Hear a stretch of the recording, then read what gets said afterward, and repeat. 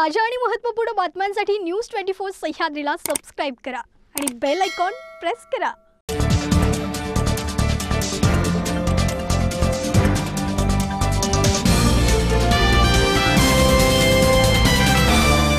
प्रेक्षक हो नमस्कार. मी विजया. अत्यंत महत्वाची बातमी. दोन दिवसांपूर्वी चार जणांच्या हत्याकांडाने जिल्ह्यासह राज्यात खळबळ उडवून देण्याची घटना घडली.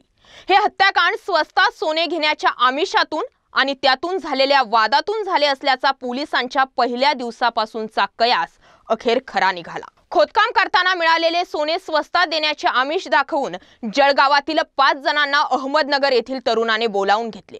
सोने न देता श्रीगोंद्यातील या चार जणांनी जळगावातील पाच जणांचे पैसे लुटण्याचा प्रयत्न केला. यावेळी झालेल्या वादातून सोने घेण्यासाठी गेलेल्या जळगावातील पाच जणांनी चाकूने भुसकून या चौघांची हत्या केली. श्रीगोंदा तालुक्यातील विसापूर येथे हे हत्याकांड घडले. या पाच संशयितांना नुकतीच अटक करण्यात आली आहे. मागील आठवड्यात श्रीगोंदा तालुक्यातील सुरेश नामक तरुणाने जळगावातील नरेश याला फोन केला होता.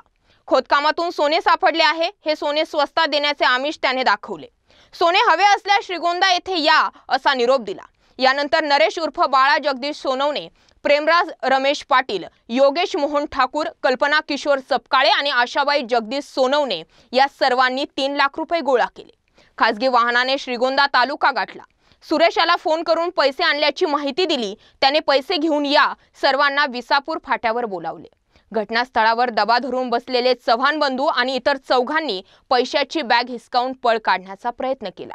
यामुळे तेथे दोन गटात हाणामारी सुरू झाली. यातूनच जळगावातून गेलेल्या पाचही जणांनी चाकूने वार करीत नातिक कुंजीलाल चव्हाण श्रीधर कुंजीलाल चव्हाण नागेश कुंजीलाल चव्हाण आणि लिंब्या हाबऱ्या काळे या चौघांचा खून केला. यानंतर संशयित जळगावात पळून आले होते. हाणामारीत एक जणांचे एटीएम कार्ड घटनास्थळी पडले होते. एटीएम कार्ड मिळाल्यानंतर तांत्रिक माहिती घेतली असता हे कार्ड जळगावातील असल्याचे समोर आले. त्यानुसार नगर पोलिसांनी एकवीस ऑगस्ट रोजी जळगाव गाठले. जळगावातील स्थानिक पोलिसांच्या मदतीने नगरच्या स्थानिक गुन्हे शाखेच्या पथकाने पाचही जणांना ताब्यात घेतले.